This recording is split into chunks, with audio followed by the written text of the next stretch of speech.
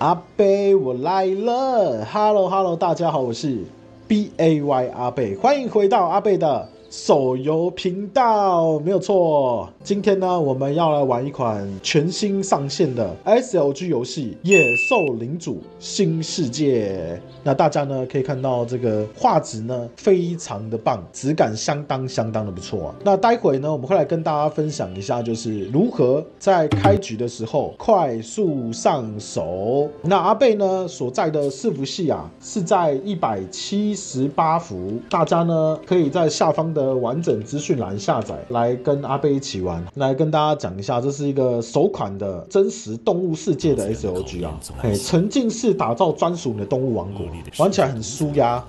然后在下方的完整资讯栏也有这个最新的序号。这个序号直接送一百抽啊！等一下我们差不多解到第三章就可以去输入这个序号了。那一开始呢，我们最主要就是优先的去升级我们的主城，要先存三千钻，所以大家钻石先不要乱花。它前面有送一个礼包，哎，你花三千钻去买那个礼包之后，三天你又可以领回那三千钻，还可以领到额外的资源。除了那个三千钻，还有两万钻啊，一样就是你花两万钻，然后呢，你就可以去买一个礼包。那三天后他就还你这两万钻。那一开始我们就先跟着。这主线走，我们的狐猴解主线的时候也可以拿去升级啊。这个狐猴就是我们的畜猎队，然后这边也是一样，兵也可以一直升一直升。所以我们就是边解主线，那我们的这个左上角的畜猎队呢也不要停。要换伺服器的话，就是点这里，然后点设置角色管理，这边就可以进行换这个伺服器了。然后像这边有东西可以建造的时候，也可以赶快建造，因为他们提升的这个资源速度呢是还蛮不错的。然后有时候他会说这个群落数量要需要两百九，那主要就是要去升。我们的这个幼崽栖息地，那这边进食区呢，就是我们要把这个蔬果还有草放进来，它们才能够去高效率的运作。像这个。毒刺荆棘前期不是很重要，最重要就是升级领地啊，然后我们就可以去获得到很多的功能解锁。我们看一下升到五级需要什么？浆果采集室，还有幼崽栖息地室，先让他们去盖，然后我们就继续解这个主线的进度。那钻石除了我们刚刚讲到说要先存到两万钻，然后然后去买两个礼包之外，那其余的话呢，我是推荐拿去升 VIP。第三章之后呢，我们就可以去输入序号 B E A S T 七七七，可以获得到一百抽，还有很多的资源。然后升兵的地方，野兽聚集地也可以优先的把它升到五级哦，因为它升到五级之后呢，你升兵就可以升出比较高等的兵，然后召集的时间呢也比较长，就变成说你不用一直过来看，效益会比较好。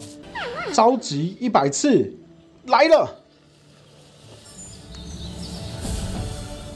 那抽到这些绿色啊、蓝色的这个动物呢，也是很有用的。兔孙，哇，它这个造型好帅哦，很拟真哎。黄喉貂都是可爱动物，玩起来很舒压。这个刺猬好可爱哦，它这个很写实哎。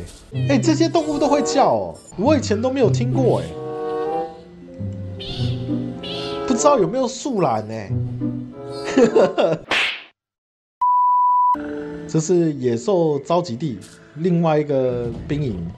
然后我们看一下，我们主堡要再升到下一个阶级，需要升级什么？草采集第五级跟幼崽栖息第五级，最优先要去提升我们的主堡，战力已经来到六千了。存放地超级重要，存放地就是可以增加我们资源的存放上限了。那为什么说很重要呢？因为如果你去开一些资源，它是超过你存放上限的。那就会消失不见哦。好，我们的领主来到六级了，赶快再进到七级，地下泉跟幼崽栖息地哦优先升级。然后随着我们的这个领主等级提升，就解锁越来越多的这个功能。然后钻石有很多是要到包包里面开的，然后之后可以用这领地布局啊，还会帮你整理，就是把这个一样的建筑物整理在一起，很方便，我很常用。哦，零元抢购出来了，就这个。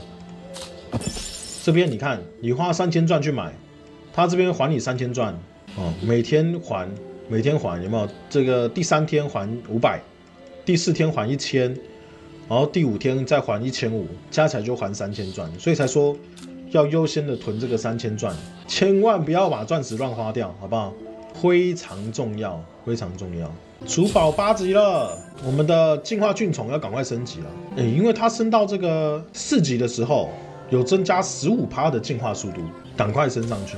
先来跟大家讲一下，它这个每隔一段时间都会有个叫做兽群行动的活动哦。那么在这活动当中啊，它的这个档次蛮快的，只要达到一定积分呢，都可以去获到很大量的资源哦，这个很重要。那点右上角就可以看到说，下一个活动呢会在这个几点开始？礼拜五、礼拜六，它每一档活动都只有一个小时啊，你就可以好好的冲积分。还有一个地方就是我们获取蜂蜜很重要的，就是我们要去打这个野。生兽群，这个野生兽群给的资源超香的。好，我们现在呢来带大家看一下这个礼包的部分。礼包蛮推荐要来刻这个光照合约。这个礼包哈，每天都可以领到大量的这个奖励，那可以自己选看要领什么样的组合啦。大部分通常都是选这个加速啦。这个礼包买下去之后，你可以盖这个香蕉树啊，那可以提升十趴的建设的速度啊。那升级到满可以达到二十二趴。我现在建造速度已经可以提升到十六点五趴了。不过再往上升，需要到的这个消耗的资源已经太多了。